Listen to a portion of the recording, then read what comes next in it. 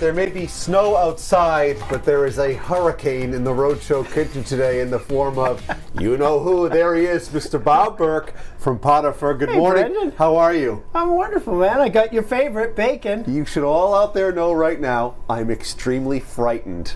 Why? The bacon You looks want some great. bacon? I would. Yeah, come and Yeah, get let me have some. he planned the whole thing. Goes, I'm going to pelt you with snowballs. There you go. All right. we have an 11 year old with us in the Rhode Show kitchen today. That's right. Have some bacon. You're paying for anything you damage. Oh yeah, yeah. That's the, we already know that. So He what's pelted the me in the back of the head with a snowball. what is the first rule of snowstorms? Don't talk about snowstorms. When the power goes out, eat the ice cream first. Tell me about what you're doing today. Well, besides you know, annoying me. everybody went out uh, and bought bread and milk yesterday, and now you've got this sad little dinner of bread and milk waiting for you here today on the snow day. Or you could do what I did, which is to go out last night and buy some thick steaks, a bottle of good red wine, and we're going to teach you a maitre d butter today, how to how to season it up like a good steakhouse would. And I love it's you've got the be milk in the wine glass, which is the best. Knock it off! I swear, I'm, I'm coming down. If you, if you don't even think about it, you know what? I'll take care of you. That's all I can do. Right, just right there. How are things at the restaurant? Things are great. You know, it's uh, uh, the roads are clear and uh, and we're good. So come on down this weekend to Pot au Feu. We're right. Right. in the heart of downtown and we're having a lot of fun. And I'm going to show you a special drink we're going to make. It's called Bobby's Hot Yellow Snow. Outstanding. And uh, yeah, we're going to have a lot of fun. But uh, forget about the bread and milk, Rhode Island. It's time to go out and buy up the thick steaks and good red wine. This is the That's man, what you want uh, if you're Bob stuck in the Burke house. from Pot au Feu is here all morning long, and uh, he's going to be here having fun with us. Back to you. in the kitchen this morning with the one and only Bob Burke from Pot au Feu. Right? I say that nice? Yeah, you yes. did a great job Like with rolled it. right off my tongue. Yeah. All right, so we are making steak in a maitre d'. He's back and he's getting me back.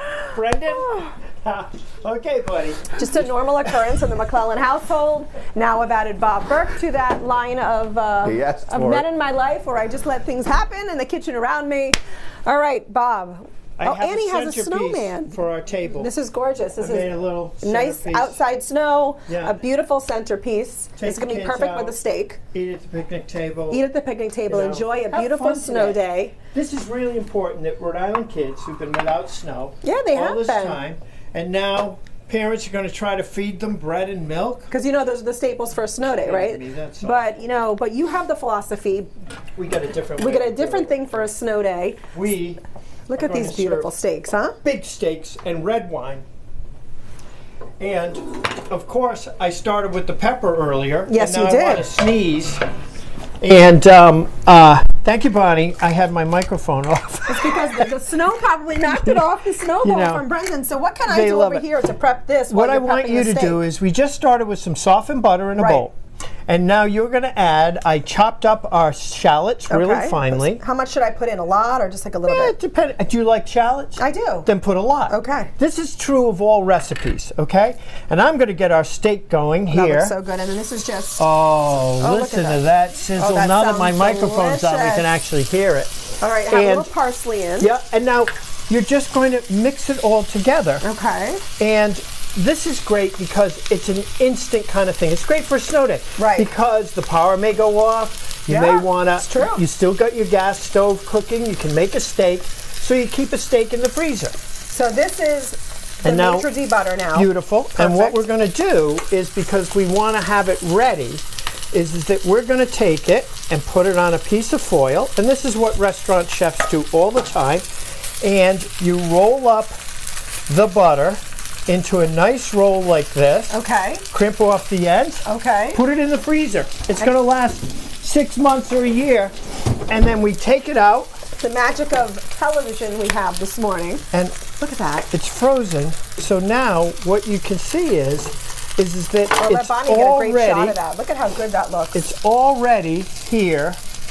We're going to take the foil off it, And and, it it's already peels all right ready off. To go right on Right top on of our the steak. Now tell me this. Totally seasoned. I know that we have the steak on. What do you suppose if someone went out and got the bread and the milk? Pathetic. sad. Just sad. Go out and buy thick steaks and red wine. When you hear snow in the forecast, there's only one thing to do. Big thick steaks, nice bottle of I, red I wine. like your thinking, right? Bob. I do. And for those of you who already made the mistake of the bread and milk, here's what you do. Okay. Really simple solution. You're going to take the bread and the milk with four eggs, Okay.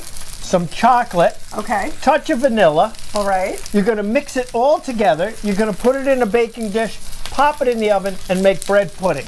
I will do that. I'm gonna do Perfect that, absolutely. dessert So we let this just go, and then we put the maitre d butter right, right That on nice top, sizzle. and it just, just And kind of melts down. We're going to put the maitre d butter on right at the end. But as you can see, it's a disc. It's Yeah. ready to go.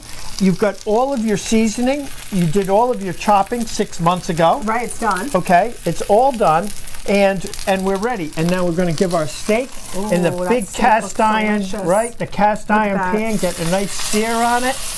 Turn it Oh. up high.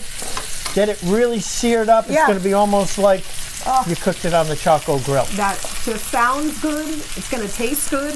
Yeah. Delicious. So, Absolutely delicious. and this is something, the kind of thing we do all the time at Feu. So it's it's traditional French cooking. It's a cozy little bistro. Yeah.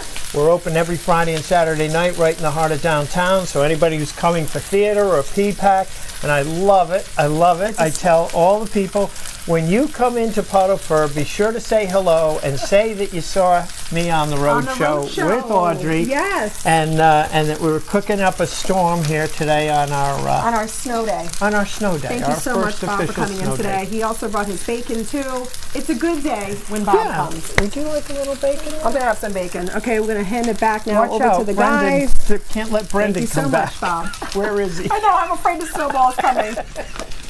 He asked me to throw I the know, yeah, yeah. You're